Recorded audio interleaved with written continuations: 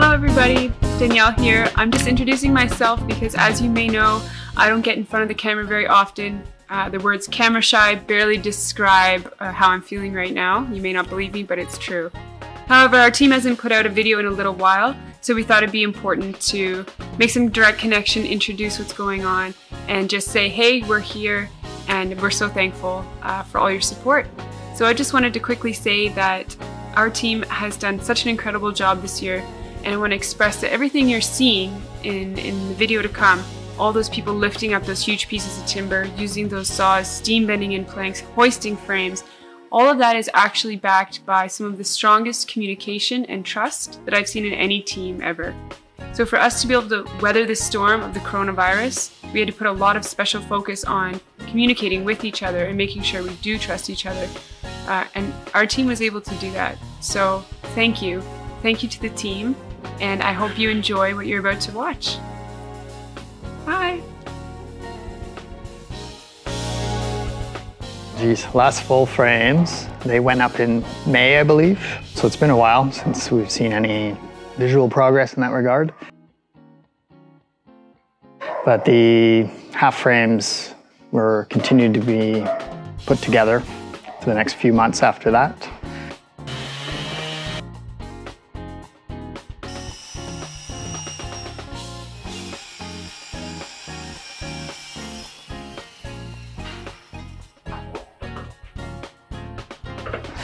Um, and labeled and put away for storage until we got the whole stern assembly put together, where they are being installed currently. Uh, and the stern assembly is the stern post, rudder post. Um, there's a big knee in there.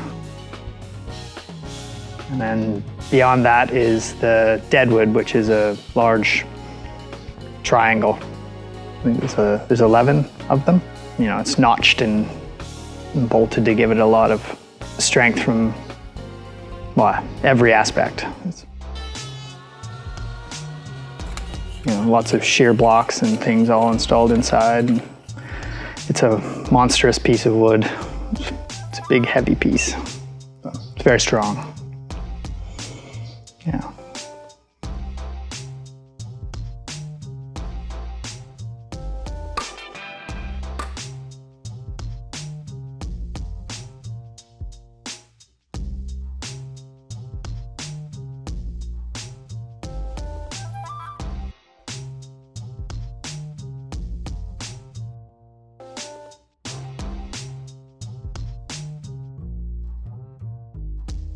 While the stern assembly was being built and the remainder of the half frames were being assembled, there's a lot of material that was brought in because the aft portion of the boat was still wide open. So it's um, a lot easier, obviously, to bring things in through an open door than up over the top of everything.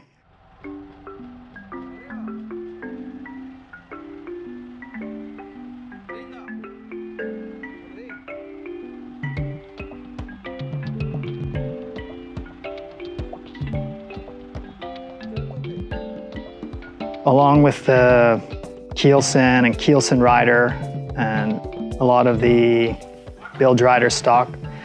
There's also the Samson post was brought in, which is an enormous piece of really beautiful piece of timber. Um, and then there's a few, um, there's a few other odds and ends. There's a pile of deck beams in here already. There's about a dozen or so tween deck beams that got loaded in at that time.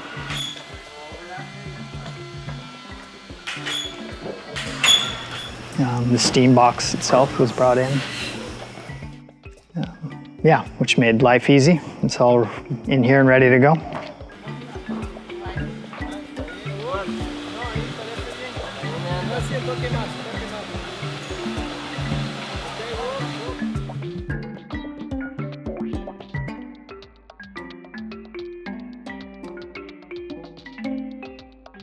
Unlike the full-size frames, which are one continuous um, frame that's stood up in unison. These are bolted onto the sides, so they require a mortise and tenon to lock them into place before they're through bolted. Yeah, and the half frames are mounted to the side of that big deadwood triangle, which is the other purpose of it, is it gives somewhere for the rest of the structure to be attached to. Yeah, so the half frames are um, yeah two individual uh, pieces that are mirrors of each other for port and starboard. The uh, the tenon cut onto the the frame end, and then the the mortise inside the deadwood. They're raised with a series of block and tackle and winches and a lot of human power. Levantamiento de una costilla de 300 a 400 kilos, normalmente en el sistema principal, que es el que soporta todo el peso, que es un sistema de polipasto 7 a 1, se utilizan alrededor de 5 personas y tal vez se pueden utilizar 3 más para el 2 a 1, que es el control a la punta.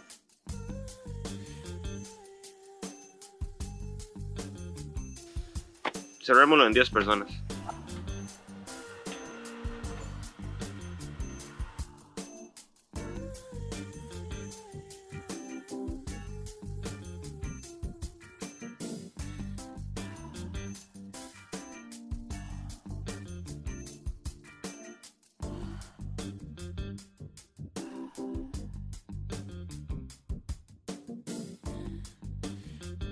Um, they've been going really smoothly, actually. It's um, pretty nice. This great big crane we have built.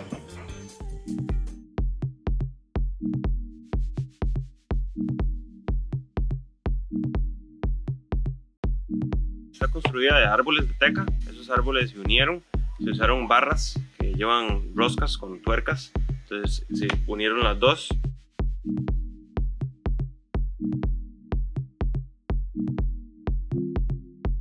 Pone otro brazo sobre una grúa principal acá. Todo lo que lleva son cuerdas y poleas. Entonces para cualquier movimiento que usted quiera hacer eh, arriba, abajo, derecha, izquierda, se hace con cambios de dirección, sistemas de poleas.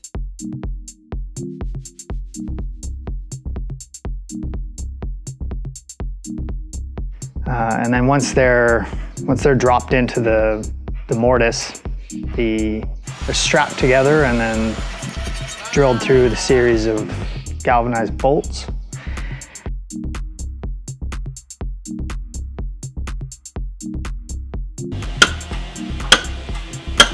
And then there's a cross member that ties the bottoms together. You can probably see it in the backdrop there, these horizontal steps. Sort of at the same time as all these frames are going up, there's some interesting changes happening inside the boat as well. The keelson rider is the upper I-beam that um, is bolts through the keelson to the lower I-beams, uh, which are later filled with lead for ballast. It's fully faired and primed and painted with several coats of epoxy paint. Yeah, and ready for install.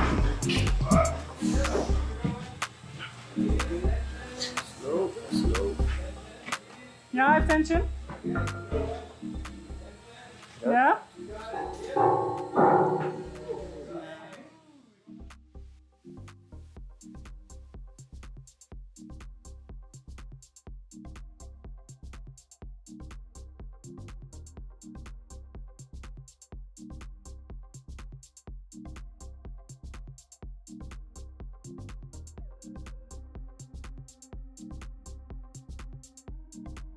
The inside of the boat has been faired out to somewhere between waterline six and seven currently.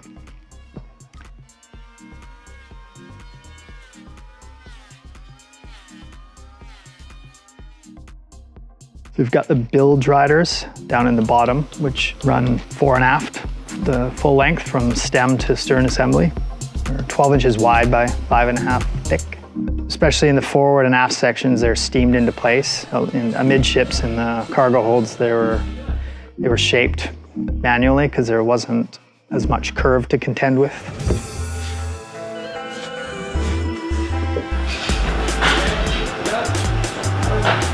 So the, the steaming has been going really well. Um, none of us really knew what how Guapinol would perform in steam box, but it uh, it bends beautifully. Come to the same sort of uh, rough estimates of about an hour per inch of thickness.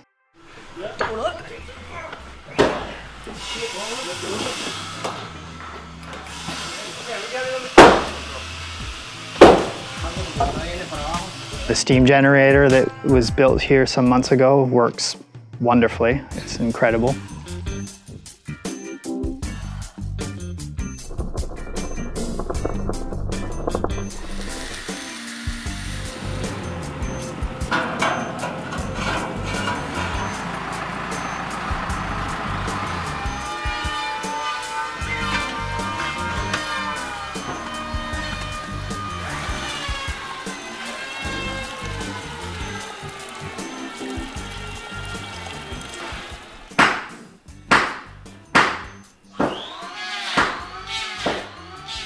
Getting the pieces in and out requires a lot of hands, and, but it's very quick. Eight meter long piece, we have it pulled out and clamped in place in about five or six minutes, usually, um, which is great. We have more time than that, I would say, with these thick timbers, but the faster the better.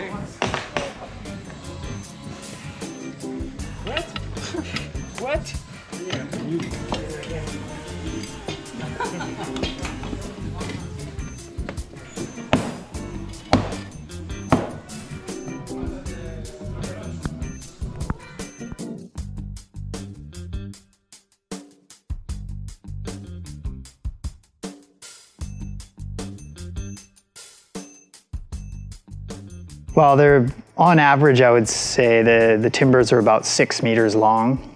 Uh, the ones we have been steaming, because there's two layers, are three inches thick uh, each and 12 inches wide.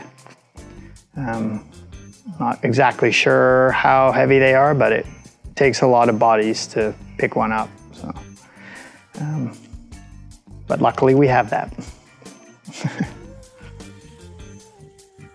We've had installed a, a uh, tensioned cable overhead with a winch on a pulley system, um, which is really effective for moving things in and out of here and has been essential in the raising of the half frames in the back. Básicamente instalamos un cable de punta a punta del bote, de la cola hasta, hasta el frente y eh, instalamos un winch eléctrico para levantar pesos gigantes.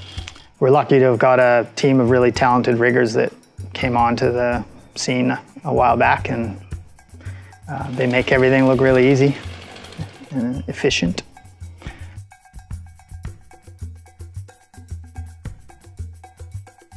At that same time, frames have been going up in the stern, so it's kind of, uh, there's a lot of action going on in the boat these days, which is good. Lots of visual progress out there for all of you to see. Um, so the half frames, which are going up uh, as we speak, we're getting them up about every second day now. Um, it's, they're, I mean, actually placing them is getting quicker and quicker. They're, you know, usually half an hour they're in. Um, the series of block and tackle, two portable winches, and just a lot of hands pulling on, pulling on ropes and a lot of organization ahead of time.